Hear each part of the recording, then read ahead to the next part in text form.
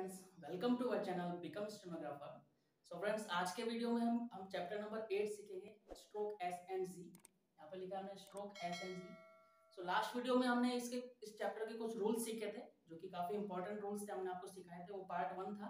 सो so, आज का video जो है ये पार्ट सेकंड रहने वाला है. सो so, इस वीडियो में जो हमने लास्ट वीडियो में लेफ़्ट ओवर रूल्स रहे थे उन रूल्स को हम इस वीडियो में सीखेंगे.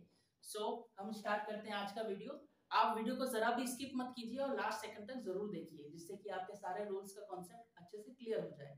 सो लेट्स स्टार्ट सो यहाँ पे रूल लिखा है हमने in words like seize and saucer where initial S initial S is immediately followed by a vowel and another S और जी इस रूल का मतलब है कि जहाँ पे भी हमें where initial S is immediately followed by a vowel जहाँ पे भी शुरुआत का एस होगा, उसके तुरंत बाद कोई वोवल आएगा और अनदर एस और जी यानी फ़र्स्ट इनिशियल एस के बाद अगर कोई भी वोवल आता है या कोई, उसके बाद एक इनिशियल एस के बाद कोई दूसरा एस या जी आता है तो उस कंडीशन में हमें एस का फुल स्ट्रोक बनाना है, जो कि होता है स्ट्रोक कॉन्सोनेंट ये वाला। हमने आपको सिखाया था एस की आउटलाइन एस और जी की ये वाली स्ट्रोक होती है एस और जी और साथ ही आपको लास्ट वीडियोस में, पिछले वीडियोस में हमने सर्कल एस और जी का भी चैप्टर आप आपको करवाया था, जो कि सर्कल बनाते थे हम। सो अगर फ़र्स्ट इनिशियल एस के बाद तुरंत बाद कोई वोवल आए और एस और जी आता है तो उस कंडीशन में हमको स्ट्रोक कॉन्सोनेंट बनाना है, ये वाला, जो कि होता है फुल स्ट्रोक ठीक है फ्रेंड्स इसका एग्जांपल वर्ड है सीज सीज वर्ड में देखिए फ्रेंड्स फ़र्स्ट एस है और उसके बाद में जेड का यानी जी का साउंड आ रहा है, और एस के बाद में तुरंत वी का वोवल है। यानी एस के तुरंत बाद वोवल भी है और एस के वोवल के बाद एक जी का भी साउंड आ रहा है इट मींस तो हमें आपको फुल स्ट्रोक बनाना पड़ेगा यहाँ पे इस प्रकार से सीज और वी का वोवल लगा दिया हमने, यानी इनिशियल एस के बाद वोवल है और उसके बाद फाइनल एस यानी जी का साउंड है जी तो इस वर्ड में हमने फुल स्ट्रोक बनाया इस रूल के अकॉर्डिंग ठीक है फ्रेंड्स नेक्स्ट रूल सीखते हैं नेक्स्ट एग्जांपल सीखते हैं आई मीन सॉसेर देखिए फ्रेंड्स इनिशियल एस है, उसके तुरंत बाद ऑल का वोवल है में ऑल का वोवल हो गया ए यू से। उसके बाद एस आ रहा है देखिए फ्रेंड्स यानी इनिशियल एस के बाद वोवल भी है और एस भी आ रहा है यानी तो हमें इनिशियल एस जो है वो फुल स्ट्रोक बनाना पड़ेगा। ये वाला स्ट्रोक कॉन्सोनेंट जिसको हम कहते हैं। सो so, हम आउटलाइन बनाते हैं इस वर्ड की। एस एस का सर्कल फिर आर एस के तुरंत बाद ऑल का वोवल था हम ऑल का वोवल लगाएँगे फ़र्स्ट प्लेस पे।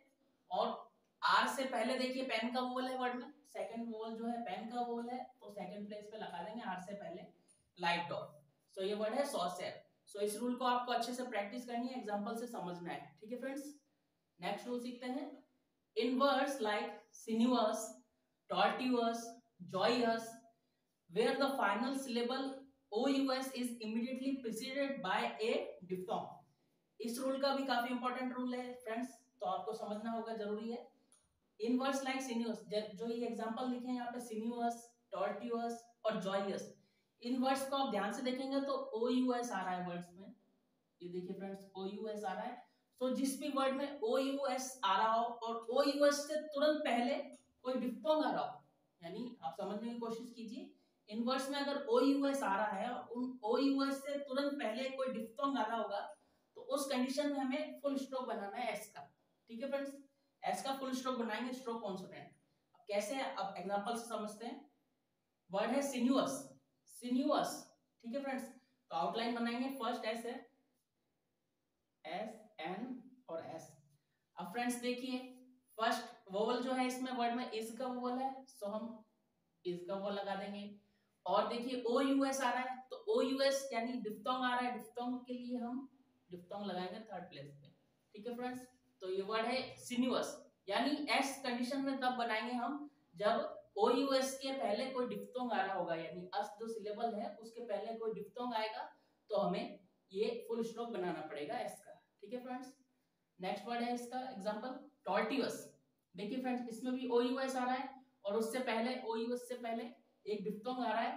ठीक है फ्रेंड्स तो डिफ्टोंग की वजह से हम यहाँ पे भी फुल स्ट्रोक बनाएँगे एस का. टी रे टी और एस देख रहे हैं फ्रेंड्स चार स्ट्रोक जोड़ के हमने आउटलाइन बनाई है। काफ़ी इंपॉर्टेंट वर्ड है ये। नॉट का वोल लगा दिया फ़र्स्ट वोल जो था नॉट का। फिर आर बनाया, फिर टी बनाया और जो फाइनल एस इसलिए बनाया है जो स्ट्रोक एस होता है वो हमें इसलिए बनाना पड़ता है ताकि हम उस एस के पहले या फिर बाद में हम वोवल प्लेस कर सके। बिकॉज़ सर्कल के ऊपर हम वोवल प्लेस नहीं कर सकते हैं। एस का स्ट्रोक बनाने का एस और जी का स्ट्रोक बनाने का मीनिंग यही होता है कि आप वोवल प्लेस के लिए आपको पोजीशन मिल जाए। First place second place third place ठीक है फ्रेंड्स सो हम यहाँ पे भी यूएस वाला डिफ्थोंग लगा देंगे। वैसे तो ट्राइफोन है ये यू और अ बट ये सिलेबल आता है ओ यूएस से पहले एक डिफ्थोंग जुड़ जाता है तो ये ट्राइफोन हो जाता है। ठीक है फ्रेंड्स सो उसी टाइप से नेक्स्ट वर्ड सीखते हैं फ्रेंड जॉयस जॉयस वर्ड में आप ध्यान दीजिए, इसमें भी ओ यूएस आ रहा है, जैसा कि हमने यहाँ पे आपको बताया ओ यूएस और जॉय ओ यूएस से पहले फ्रेंड्स एक क्या है? डिफ्थोंग आ रहा है, यहाँ पे हमने लिखा है डिफ्थोंग इस वर्ड में ओ यूएस से पहले डिफ्थोंग आ रहा है तो हम आउटलाइन बनाते हैं इस वर्ड की। जे और एस अब फ्रेंड इसमें देखिए ओए का डिफ्थोंग है ओए ओए का डिफ्थोंग सिखाया था आपको तो जॉय का डिफ्थोंग लगाएँगे ओए का आई मीन फ़र्स्ट प्लेस पे जॉयस सो ये वर्ड हो गया जॉयस ठीक है फ्रेंड्स ओ यूएस से पहले कोई वोवल आएगा तो हमें वहाँ पे एस का फुल स्ट्रोक बनाना है। ये चीज़ आपको ध्यान रखनी है। और एस का और जी का स्ट्रोक हम इसी कंडीशन में बनाते हैं ताकि हम उसके पहले या एस यानी एस और जी के स्ट्रोक से पहले या फिर बाद में हम वोवल प्लेस कर सके। वोवल को प्लेस करने के लिए स्ट्रोक की आवश्यकता होती है, ज़रूरत होती है आई मीन तो इसकी, इसी कंडीशन में, इस चैप्टर में आपको रूल सिखाए थे एस और जी के कि किस कंडीशन में हमें एस का स्ट्रोक बनाना है जी का स्ट्रोक बनाना है या किस कंडीशन में हमें सर्कल बनाना है। सो आई होप ये रूल्स आपको समझ में आए होंगे. सो so फ्रेंड्स अब इस चैप्टर के अंदर कुछ ग्रामोलॉग्स दिए गए हैं. उन ग्रामोलॉग्स को हम सीखते हैं वन बाय वन करके. सो so, हम आपको इस ग्रामोलॉग्स में कुछ एक्स्ट्रा भी सिखाएँगे जो कि बुक में एक ही आउटलाइन दी गई है दो ग्रामोलॉग्स के लिए. हम एडिशनल आपको सिखाएँगे सो so, आप बोर्ड पे ध्यान दें. फ़र्स्ट ग्रामोलॉग इस चैप्टर का मी मी वर्ड जब भी आप देखेंगे आपको लिखना होगा तो आप एम स्ट्रोक बनाएँगे अबव द लाइन लाइट बनता है एम ठीक है फ्रेंड्स इस स्ट्रोक को हम अब से मी पढ़ेंगे.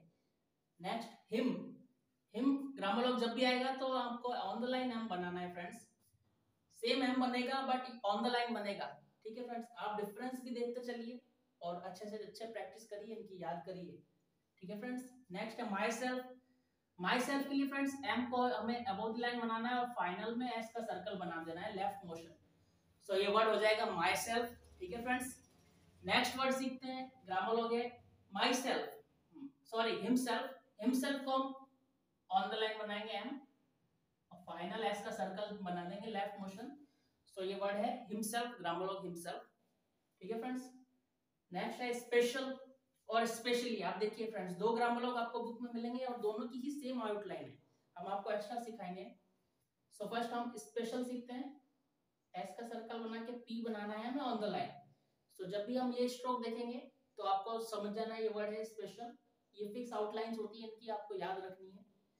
नेक्स्ट है स्पेशली स्पेशल की तरह ही हमको सेम आउटलाइन बनानी है स्ट्रोक बनाना है स्पेशली के लिए भी। बट इसमें आपको फाइनल यानी थर्ड प्लेस पे एक इज़ का डॉट लगा देना है।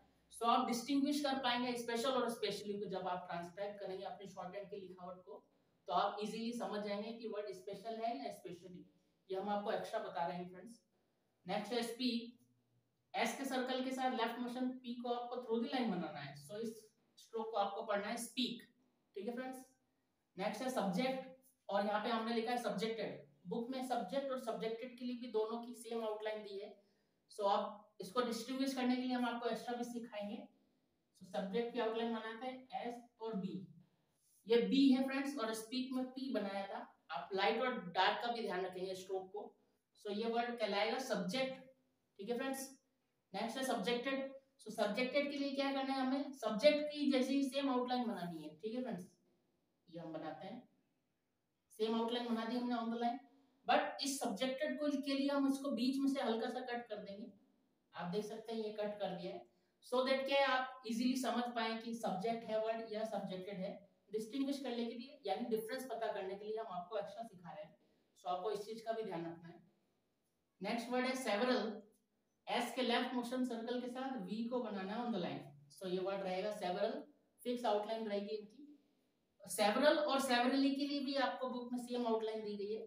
बट इसको डिस्टिंग्विश करने के लिए हम आपको एक्स्ट्रा बता रहे हैं सो so देट आपको इन फ्यूचर कोई प्रॉब्लम ना हो ट्रांसक्राइब करते टाइम सेवरली के लिए भी हम सेवरल का ही स्ट्रोक बनाएँगे.